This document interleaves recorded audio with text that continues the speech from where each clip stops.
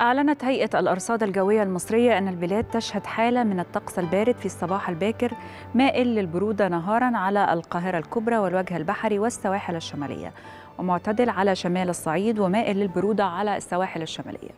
من المتوقع أن يشهد اليوم فرص سقوط أمطار خفيفة إلى متوسطة على فترات متقطعة.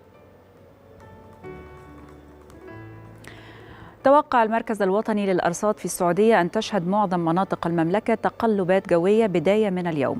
تشمل نشاطا في الرياح السطحية وارتفاعا للأمواج وهطول لأمطار خفيفة وانخفاض أيضا في درجات الحرارة. توقع المركز الوطني للأرصاد في الإمارات أن يكون الطقس غدا غائم جزئيا وتظهر السحب المنخفضة صباحا مع ارتفاع آخر في درجات الحرارة ورطب ليلا على بعض المناطق الساحلية. رياح خفيفة إلى معتدلة السرعة. وفي الأردن كشفت دائرة الأرصاد الجوية انخفاض درجات الحرارة اليوم موضحة أن الأجواء باردة جدا وغائمة جزئيا في أغلب المناطق. حذرت دائرة الأرصاد من خطر تشكيل الصقيع في ساعات الصباح الباكر فوق المرتفعات الجبلية العالية ومن احتمال تشكل الضباب فوق المرتفعات الجبلية.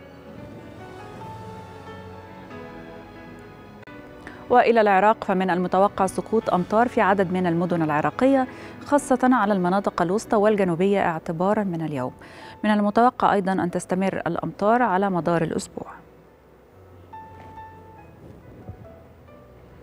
واوروبيا في ألمانيا نتوقع أن تشهد جو غائم كليا في ساعات النهار بينما يكون الجو به ضباب خفيف في الليل.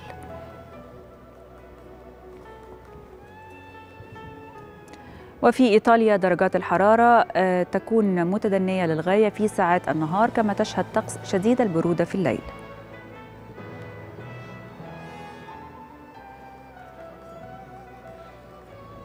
أما فرنسا ففي باريس بيكون الجو شديد البرودة في ساعات النهار وفي الليل متوقع سقوط أمطار ثلجية تستمر حتى منتصف الليل.